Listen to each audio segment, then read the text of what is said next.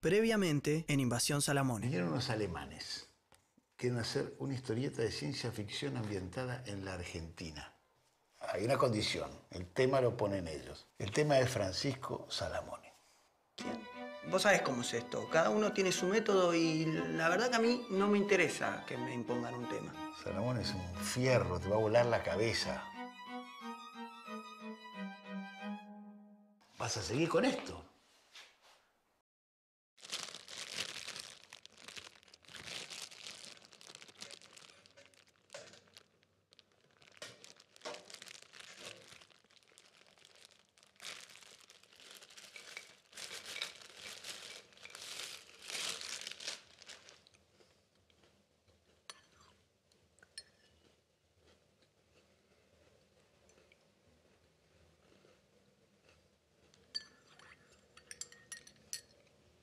Hola, ¿cómo están?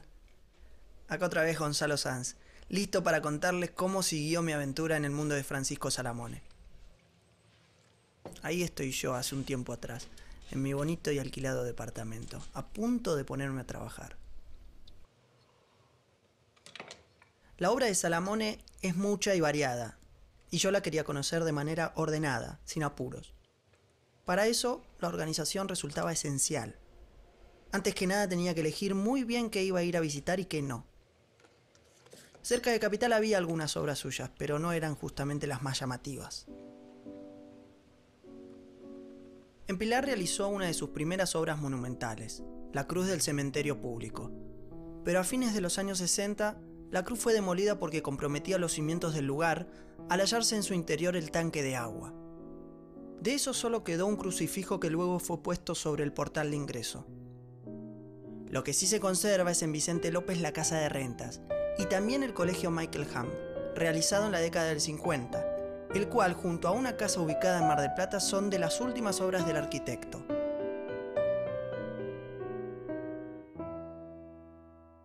Sin lugar a dudas lo mejor era empezar por Córdoba, donde Salamone no solo había estudiado, sino que también dejó los primeros indicios de lo que luego sería su obra más famosa,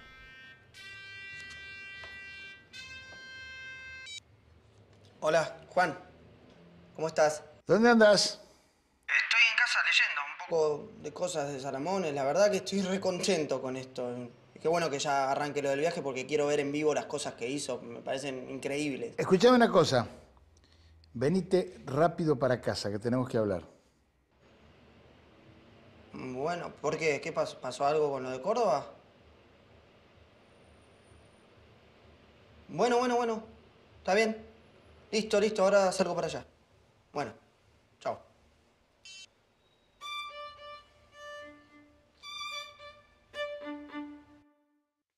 Ya está, Marga, deja que, que yo lo busco, debe estar por acá. Juancito. Juancito. ¿Dónde estás? Hola, Gonzalo. Ella es María, la representante de nuestros inversores alemanes.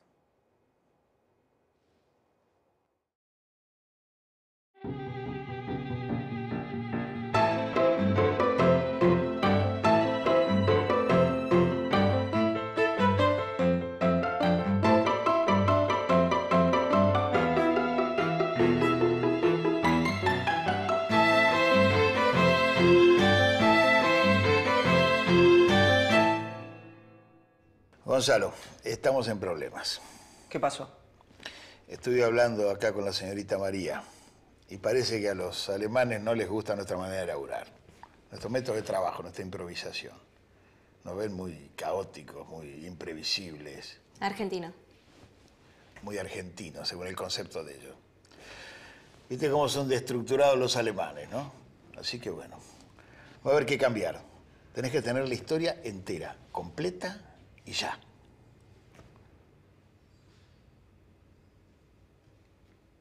Me está encargando. ¿Ah? Es un chiste, ¿no? ¿A usted le parece que yo estoy acá para hacer chistes? No es lo que habíamos arreglado, Juan. Ah, Yo había, habíamos quedado que iba construyendo la historia a medida que conocía las obras de Salamone, ¿no? ¿Qué pasa? ¿No les gusta mi trabajo? Sí, les gusta, les gusta mucho. Lo que no les gusta es el método, la manera de laburar. Eso que vayas improvisando a medida que vas viendo las cosas, eso no. Tenés que completar la historia y lo antes posible. Pero Juan, yo no tengo toda la historia lo antes posible. No, no la, tengo partes, sí, tengo em, imágenes, eh, sensaciones, pero lo fuerte me viene cuando empiezo a investigar. Vos sabés cómo funciona esto. Señor Sanz, todos sabemos cómo es. Pero si no acepta, voy a tener que buscar su reemplazo. Bueno. Bueno, está bien. Lo que puedo hacer es este fin de semana ir a los cementerios, a las municipalidades, ver... No, te vas a Córdoba, te vas a Córdoba ya. Están los pasajes sacados y todo. Tenés que ir a ver Salomón en los años 20, el comienzo del asunto y te venís con la historia completa. No, yo- Terminamos ya. Perfecto, Juan. Yo solamente puedo sacar el, el comienzo del asunto en Córdoba. No puedo sacar otra cosa. Señor Sanz, confiamos en usted y su capacidad. No nos defraude. Ese día, hasta momentos antes de tomarme el micro, estuve escribiendo. Eran ideas desordenadas. Algunas me parecían lindas, otras no tanto. Pero la verdad que con ninguna se me aceleraban los latidos del corazón.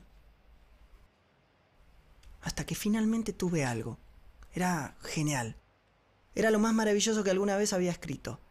Lástima que era también un rejunte nefasto de todas las ideas más vistas de la ciencia ficción. Encima con faltas de ortografía e imposible de dibujar. Un solo destino digno podía tener semejante material. La verdad es que no tenía la más mínima idea de lo que iba a hacer.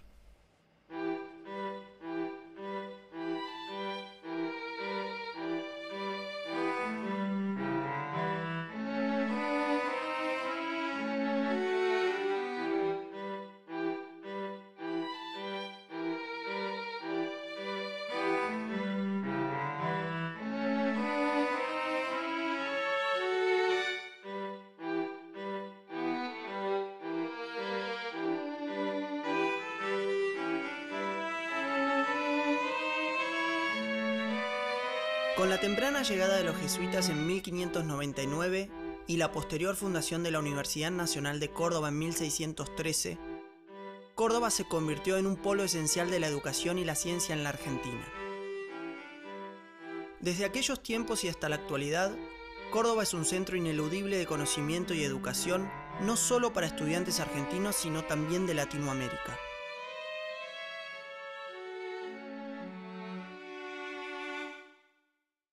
La década del 20 no solo fue fructífera para la carrera de Salamone, sino también para su vida personal.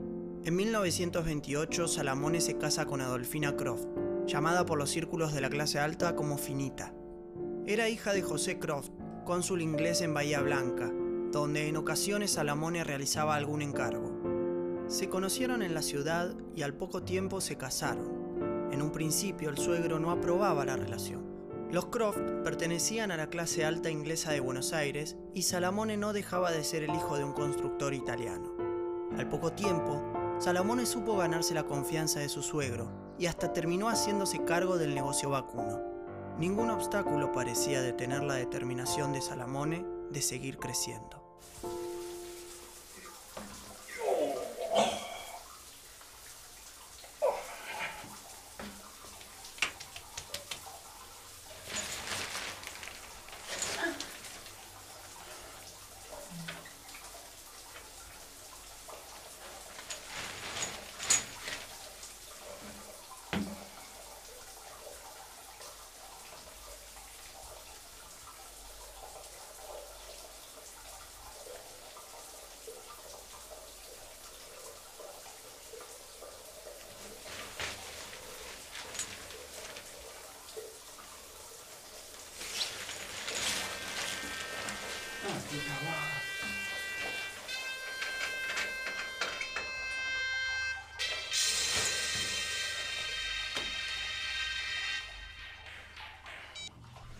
Hola.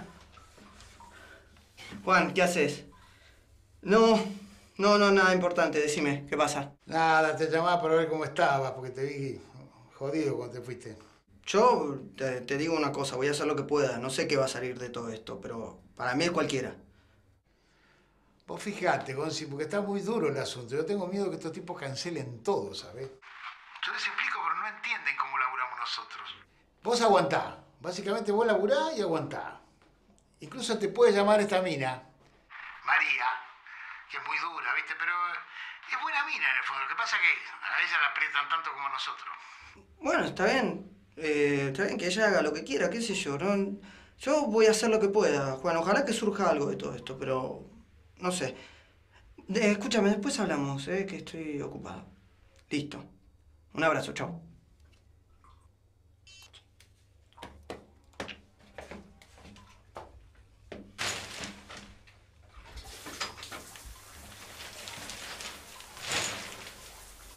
En 1927 se produce un hecho capital para las fuentes de inspiración del joven arquitecto. Ese año se estrena el film alemán Metrópolis, del director Fritz Lang. Realizado en los grandes estudios de la UFA, Metrópolis fue uno de los films más ambiciosos de su momento. Creando un mundo alternativo, sus decoradores se atrevieron a imaginar un mundo futurista, de altas torres modernas ante las cuales el hombre quedaba reducido. El film pronto se convirtió en una gran pasión para Salamone, quien encontró en esas imágenes vivas la clase de libertad creativa que él mismo soñaba para sus obras. Hasta hace poco tiempo, Metrópolis estaba incompleta, ya que desde hacía años varios de sus rollos estaban perdidos. Finalmente, se pudo llevar a su duración original gracias a que la única copia completa que existía en todo el mundo se encontraba en la Argentina. Si Argentina le debía a Metrópolis el haber inspirado a Salamone para su obra monumental, la deuda ya ha quedado saldada.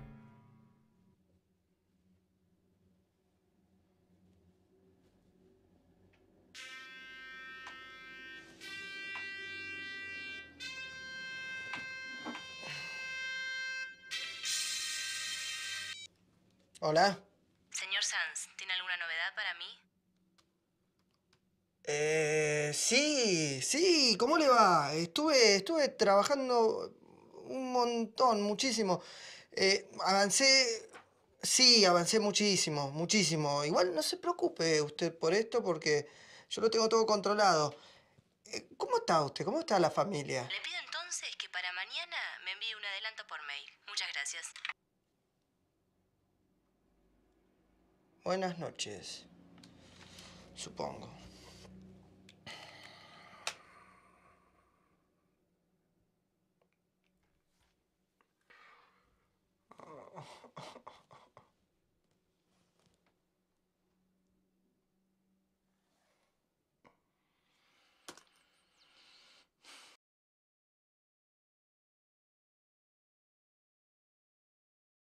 Finalmente me encontré con Mariana Eguía, una estudiosa del Salamone cordobés en la Academia Nacional de Ciencias. La academia compartía algunos de sus salones con la Facultad de Ciencias Exactas, Físicas y Naturales, por lo que Salamone cursó su carrera dentro de ella. Mariana, ¿cuándo viene Salamone a Córdoba? Eh, la información que tengo eh, a partir de una investigación realizada es que llega él a los 20 años a Córdoba. Son cinco años que hace de estudios, tiene un título intermedio, se recibe en el año 22. El título intermedio es de arquitecto ingeniero, que en ese entonces lo habilitaba un plan que venía desde el año 1892. Y casualmente, en el año que, al año siguiente que, que él ingresa, ese plan este, caduca y se incorpora directamente el título de ingeniero civil, sin títulos intermedios. ¿Por qué crees que estudia acá? La respuesta podría llegar a orientarse en el tipo de orientación que tenía la Facultad de Ingeniería en ese entonces, particularmente la de Arquitectura, que tenía una mirada mucho más dedicada a las bellas artes. Con respecto a la otra, a la otra universidad en ese entonces, a la otra facultad de, de Ingeniería que estaba en Buenos Aires, que tenía una mirada mucho más técnica. ¿Y de Salamone como estudiante, qué se sabe? Eh, tenemos el primer proyecto, que es el, un proyecto del Panteón de uno de los Luises, de uno de los reyes de Francia, donde evidentemente hay un, eh, una serie de eh, elementos que hablan de su lenguaje ecléctico, académico, donde hay una serie de proporciones que no, la verdad que desde mi punto de, de vista, no tienen gran mérito más allá de ser un, meramente un buen proyecto de estudio de proporciones y de elementos clásicos. Sin embargo, el segundo, lo que llama la atención, que no estaba del todo claro en dónde este, está ubicado, es la Catedral de Santa Rosa, que es una catedral neogótica, evidentemente con eh, las famosas agujas, en donde el pórtico me da una escala eh, humana, el pórtico inicial, pero no así el resto de las fachadas que tienen una escala súper monumental repetida 100 veces. Entonces imagínate el día y la noche entre un y otro proyecto. No obstante, él argumenta en la Sociedad Central de Arquitectos tenerlos como uno de los premios que él guarda entre 1918 y 1919.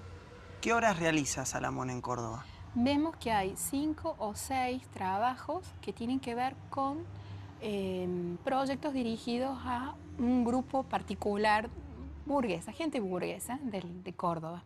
Estamos hablando de casas señoriales, petit hotel, un hotel, él argumenta que es el Hotel Victoria, que es muy conocido sobre la calle 25 de Mayo, que todavía sigue en pie, eh, está dentro de su, de su de sus trabajos de diseño. Si tenemos en cuenta los proyectos de los concursos y sus primeras obras, ¿qué estilo encontramos?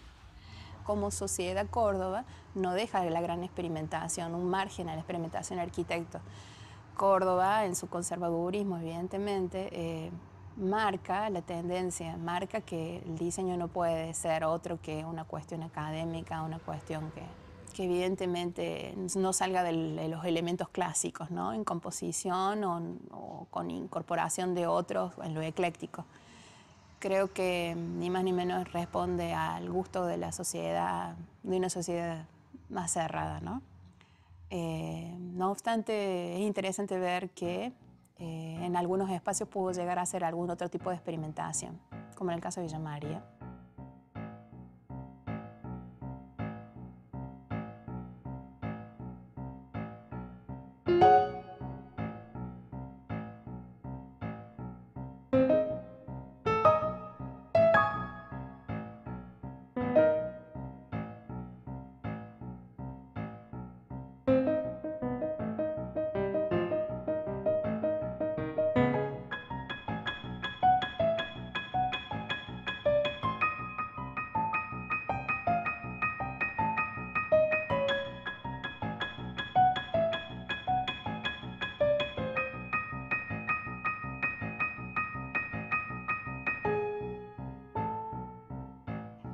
La Plaza de Villa María, evidentemente, el equipamiento nos habla de una nueva concepción, de una nueva forma de, ver, de componer, de incorporar formas que no son suntuosas, sino que son geometrizadas, en donde hay una descomposición de por sí de las formas y hay una reiteración de las mismas, una fragmentación de las mismas, que lo une justamente la cuestión de Art Deco.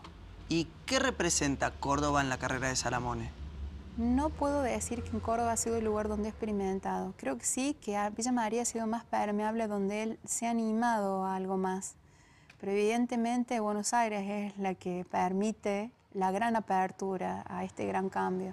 No se puede entender con la obra de Córdoba, con la obra de proyecto incluso de la Municipalidad de Villa María, cómo es de esa cabeza es que ha salido la obra de Buenos Aires sí se entiende a partir del cual encontró vía libre para poder expresar todo lo que tenía, quizás un poco reprimido, quizás no le daban espacio, no le daban oportunidad para poder hilar en su imaginación nuevas cosas.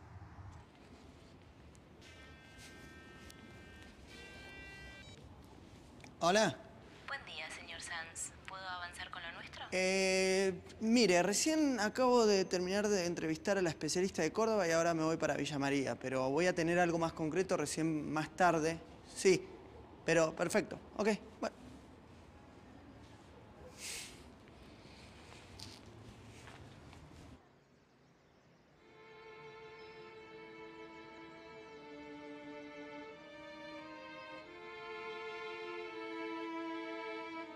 La obra de Villa María no era que me resultara indiferente.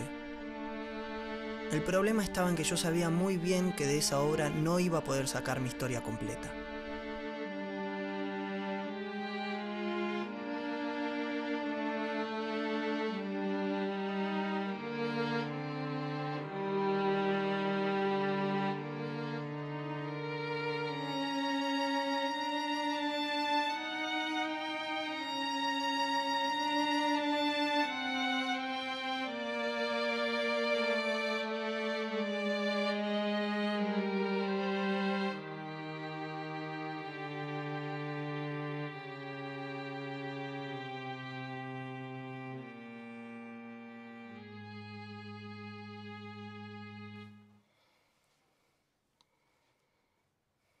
Ahí estaba, sin idea de cómo iba a seguir con el asunto.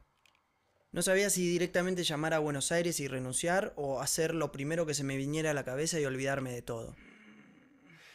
Menos de cobrar mi cheque, obviamente. Pero creo que ese era el problema. No quería olvidarme de todo. Quería vivirlo. Quería hacerlo. Pero ¿cómo?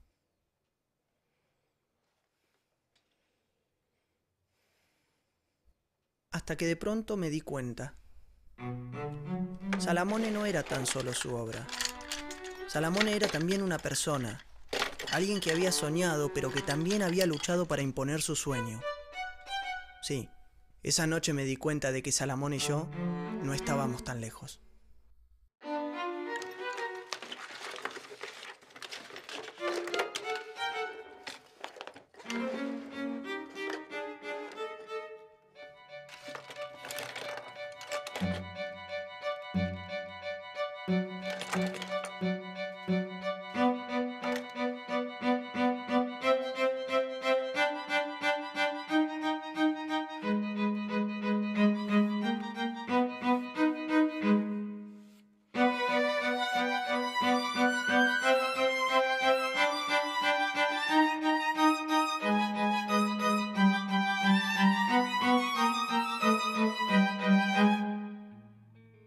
Los años pasaron y Salvador creció.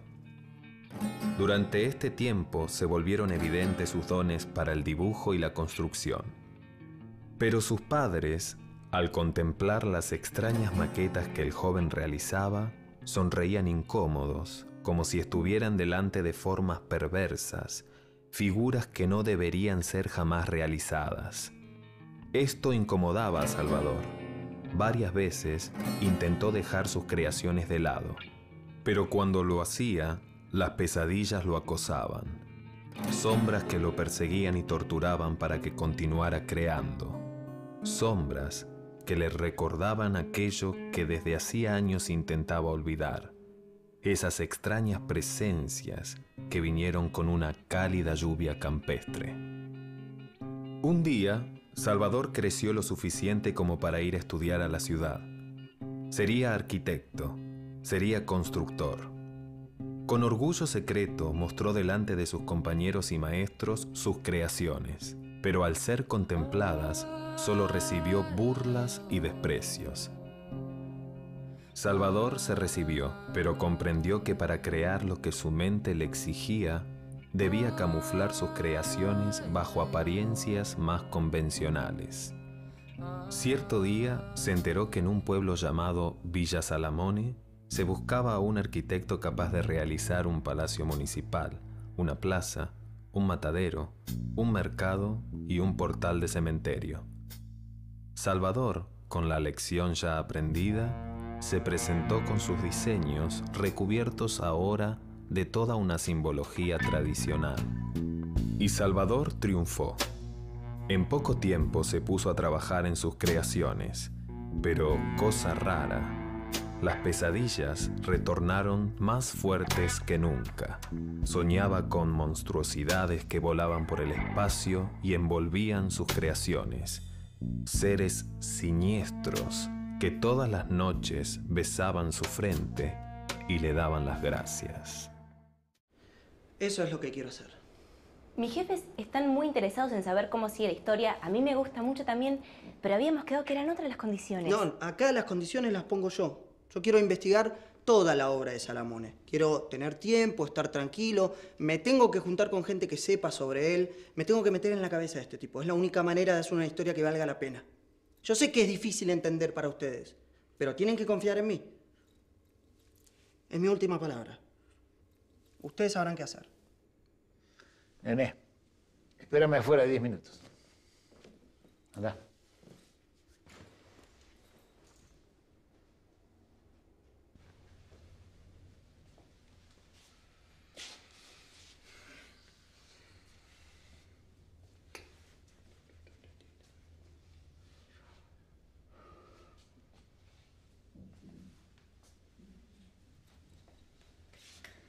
Bueno, pibe, ya está.